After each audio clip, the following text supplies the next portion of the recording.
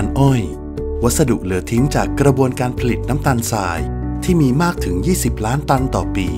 กำลังถูกนำมาเพิ่มมูลค่า ด้วยการผลิตเป็นเส้นใยวิสโคสเรยอนเพื่อใช้ในกลุ่มสิ่งทอและแฟชั่น ภายใต้โครงการวิจัยการผลิตเส้นใยจากชานอ้อย Regenerated Cellulose โดยได้รับงบประมาณสนับสนุน จากสำนักงานปลัดกระทรวงอุตสาหกรรมดำเนินงานโดยสถาบันพัฒนาอุตสาหกรรมสิ่งทอ ร่วมด้วย มหาวิทยาลัยเทคโนโลยี ราชมงคลธัญบุรี มหาวิทยาลัยเกษตรศาสตร์ โดยผลวิจัย สามารถพัฒนาวิธีการแยกเยื่อแอลฟาเซลลูโลสสูง จากชานอ้อย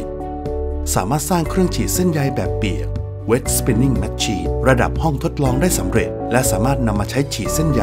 จากเยื่อชานอ้อย ได้เป็นครั้งแรกในประเทศไทย นำร่องแปรรูปผลิตภัณฑ์สิ่งทอ และแฟชั่น ที่เป็นมิตรต่อสิ่งแวดล้อม และพัฒนาสู่เชิงอุตสาหกรรมต่อไป